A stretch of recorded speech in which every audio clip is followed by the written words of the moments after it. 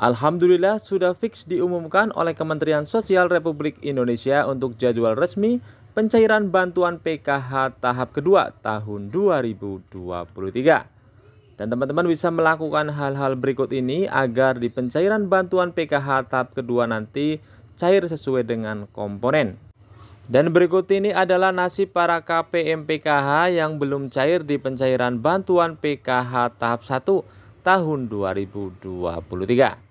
Kita simak informasi ini sampai selesai agar teman-teman semuanya tidak gagal paham dan salah paham dalam menyerap informasi yang telah kami berikan.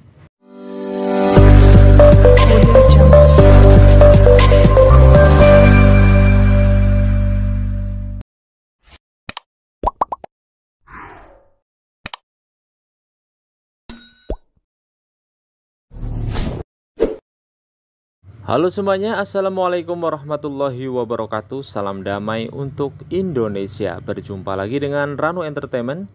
Di kesempatan kali ini kami akan memberikan informasi penting kepada seluruh keluarga penerima manfaat KPM PKH dan KPM BPNT Alhamdulillah sudah diumumkan untuk jadwal resmi pencairan bantuan PKH tahap kedua tahun 2023 dan teman-teman bisa melakukan hal-hal berikut ini agar nanti di pencairan bantuan PKH tahap kedua agar bantuan PKH-nya cair sesuai dengan komponen.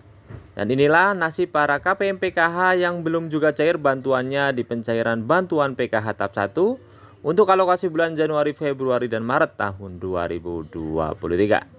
Dan sekarang kita langsung saja simak informasi selengkapnya.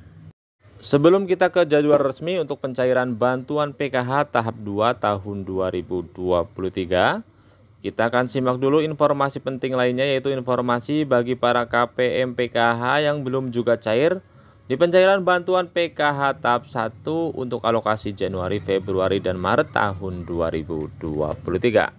Dan sekarang teman-teman juga sudah bisa melihat di aplikasi cek bansos sudah ada perubahannya untuk update pencairan bantuan PKH. Di situ akan terlihat untuk alokasi bulan Januari hingga Maret tahun 2023. Itu artinya PKH teman-teman semuanya dipastikan akan cair di pencairan bantuan PKH tahap 1 tahun 2023. Jadi bagi teman-teman yang sudah cair dipastikan untuk statusnya sudah berubah yaitu Januari hingga Maret 2023. Dan bagi teman-teman yang statusnya sudah berubah namun juga belum cair ya untuk bantuan PKH tahap 1 tahun 2023 ini, maka teman-teman semuanya ditunggu saja karena dipastikan akan cair bantuan PKH-nya untuk alokasi Januari hingga Maret tahun 2023. Karena masih banyak teman-teman kita yang belum cair seperti bagi teman-teman pemegang kartu KKS Bank BTN karena Bank BTN tidak lagi bekerja sama dengan Kementerian Sosial Republik Indonesia untuk pencairan bantuan PKH tahun 2023 dan nantinya para KPM yang memegang kartu KKS Merah Putih Bank BTN pencairannya akan dialihkan melalui PT Pos Indonesia. Seperti biasanya nanti teman-teman akan mendapatkan surat undangan dari kantor pos untuk pengambilan bantuan PKH tahap 1 bagi teman-teman semuanya, para pemegang kartu KKS Merah Putih Bank BTN. Begitu juga bagi para pemegang kartu KKS Bank BRI, Bank BNI, Bank Mandiri, dan Bank BSI apabila belum juga cair bantuannya maka ditunggu saja hingga tanggal 31 Maret tahun 2023. Jadi biasanya batas akhir pencairan bantuan PKH tahap 1 di tanggal 31 Maret setiap tahunnya. Dan bagi para KPM PKH yang biasanya ada masalah di perbankan maupun di DTKS atau data di Dukcapil biasanya akan diperpanjang ya untuk proses e, penyaluran bantuan PKH tahap satunya hingga tanggal 15 April biasanya eh, tahun-tahun sebelumnya seperti itu untuk proses perbaikan data agar nantinya bantuan PKH tahap 1 bisa cair ke para KPM tersebut. Kami doakan bagi teman-teman semuanya para KPM PKH yang belum cair bantuannya di pencairan bantuan PKH tahap 1 segera dicairkan bantuannya. Dan bagi teman-teman semuanya para KPM PKH yang sudah cair bantuannya di tahap 1 dan cair tidak sesuai dengan komponen silakan teman-teman mengusulkan komponen yang tidak masuk di pencairan bantuan PKH tahap 1 ke operator desa atau ke pendamping PKH untuk segera diproses, dilaporkan ke Dinas Sosial dan Kementerian Sosial Republik Indonesia agar di pencairan bantuan PKH tahap kedua nanti cair sesuai dengan komponen. Selanjutnya informasi yang ditunggu-tunggu yaitu informasi penting pencairan bantuan PKH tahap kedua tahun 2023. Jadi telah sama-sama kita ketahui Kementerian Sosial telah memastikan bahwa pencairan bantuan PKH tahap kedua yaitu alokasi bulan April, Mei dan Juni akan cair di bulan April, Mei dan Juni ya. Tapi di sini kita akan bahas ada beberapa informasi penting bahwa di bulan April nanti eh, kemungkinan besar masih dalam proses verifikasi dan validasi para KPM PKH yang akan di SK-kan di pencairan bantuan PKH tahap yang kedua.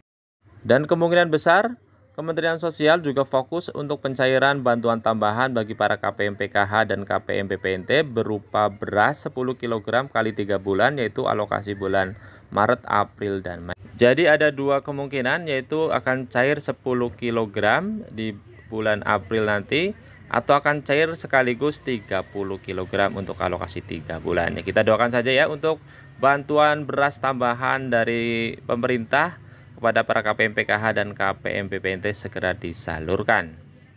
Selain bantuan beras 10 kg kali 3 bulan, e, nantinya juga ada KPM yang mendapatkan bantuan berupa telur dan daging ayam di bulan April tahun 2023 Terkhusus nanti. bagi balita yang terindikasi stunting. Jadi untuk pencairan bantuan PKH tahap yang kedua nanti kemungkinan tidak akan cair di bulan April, melainkan akan cair di bulan Mei. Karena menurut pantauan kami di tahun-tahun sebelumnya untuk pencairan bantuan PKH tahap kedua akan dicairkan mulai bulan Mei hingga bulan Juni. Jadi kemungkinan besar di tahun 2023 ini juga pencairan bantuan PKH tahap kedua akan mulai cair di bulan Mei hingga bulan Juni tahun 2023. Jadi untuk jadwal resmi dari Kementerian Sosial untuk pencairan bantuan PKH tahap yang kedua adalah dimulai bulan April, Mei, dan bulan Juni. Tapi menurut pengalaman kami untuk pencairan bantuan PKH tahap kedua kemungkinan akan cair mulai bulan Mei hingga bulan Juni tahun 2023. Kapan pun pencairannya semoga saja segera disalurkan ya untuk pencairan bantuan PKH tahap yang kedua. Dan bagi teman-teman semuanya yang tidak sesuai komponen untuk pencairan bantuan PKH tahap 1 kemarin. Semoga saja di pencairan bantuan PKH tahap kedua nanti cair sesuai dengan komponen. Silakan teman-teman melaporkan untuk komponen yang tidak masuk di pencairan bantuan PKH tahap 1 kepada operator desa atau kepada pendamping PKH agar diusulkan di pencairan bantuan PKH tahap 2 nanti bisa cair sesuai dengan komponen. Demikian informasi yang bisa saya sampaikan. Terima kasih. Wassalamualaikum warahmatullahi wabarakatuh.